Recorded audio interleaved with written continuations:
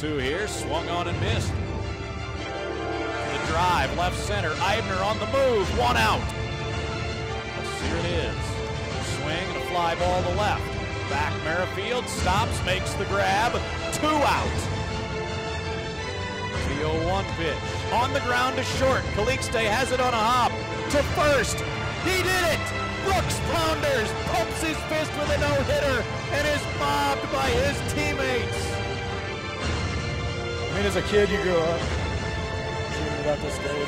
I'm just so lost for words. None of it can happen without the plays that made behind me. Thank you.